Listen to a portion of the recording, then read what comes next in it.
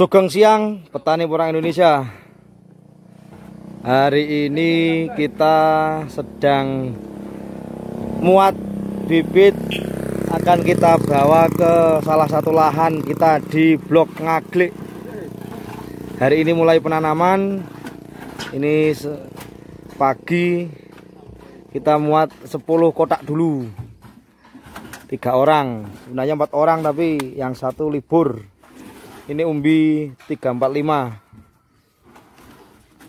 sampai 10 310 ini ya yang ini kecil-kecil.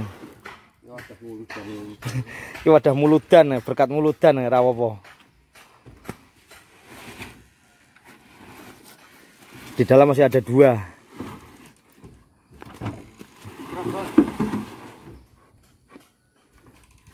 Amat waraim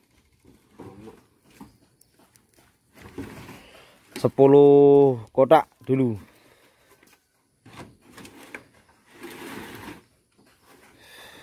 Nanti langsung ke lokasi.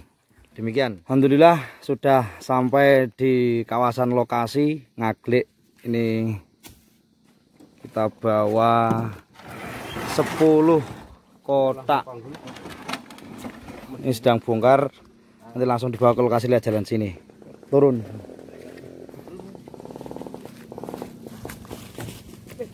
kita sudah sampai lahan di kawasan blok ngaglik desa Kaliwater. Ini sedang penanaman e, versi kami.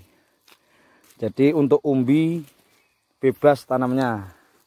Artinya eh, tidak harus miring oh bukan bebas. Ar, apa mata tunas menghadap ke atas.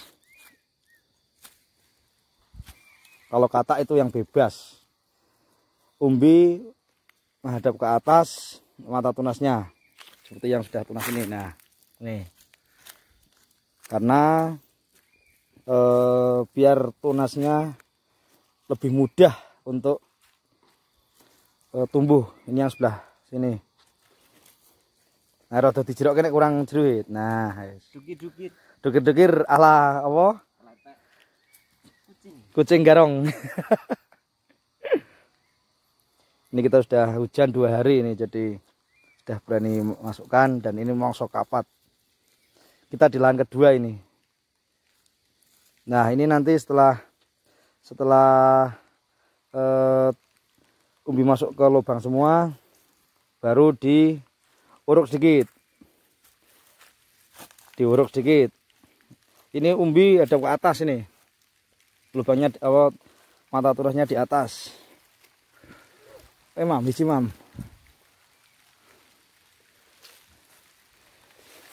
Diuruk sidik mam apa mam misalkan ini diuruk diuruk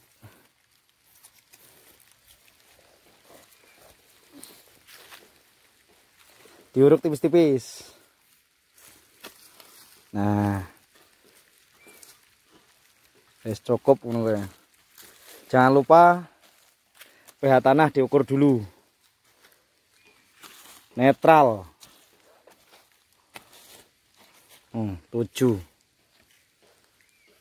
ini enggak belum enggak saya kasih dolomit karena netral di kisaran 6 sampai 7 yang sebelah sini coba. 7 semua tadi ada yang 6 sempat tapi enggak apa-apa masih 6 setengah nah ini diuruk tipis-tipis kurang lebih ya 1 sampai 3 cm karena ini umbi harus agak eh, dalam juga kalau tekan sini mam, berapa mam?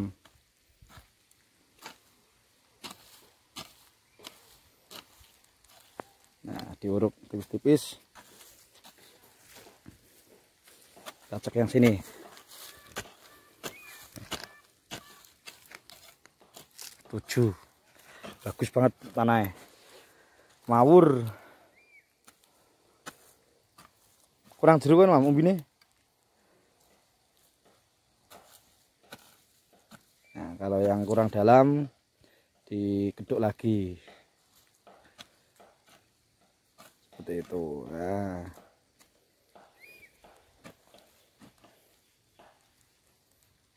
ini besok sampai sana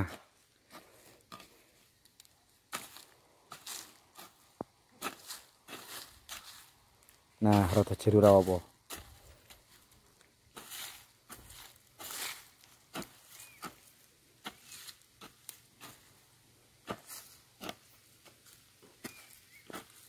Nah, setelah setelah ini di uh, uruk tanah, baru kita taburkan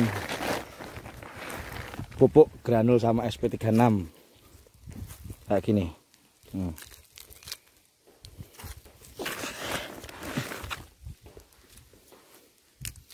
Satu lubang, satu genggam.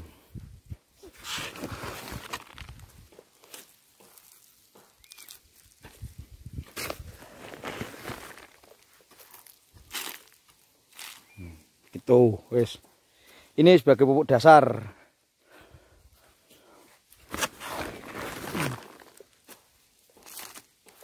satu lubang satu genggam.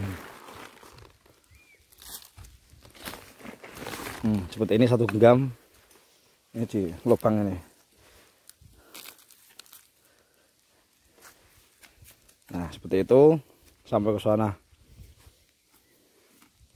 Nah baru besok setelah uh, kujubnya keluar udah bertunas baru kita tambahi NPK kira-kira seperti itu. Ini versi kami uh, di penanaman porang bersama si rezeki porang Indo Purworejo demikian. Uh, ini masih di tanpa gulutan karena kita di tanah miring. Kita menyikapinya dengan cukup dijangkau dan dikoak.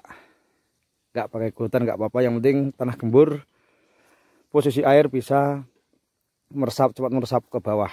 Ini sudah ada parit-paritnya. Ini sudah ada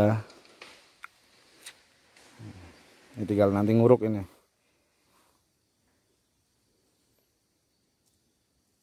Demikian terima kasih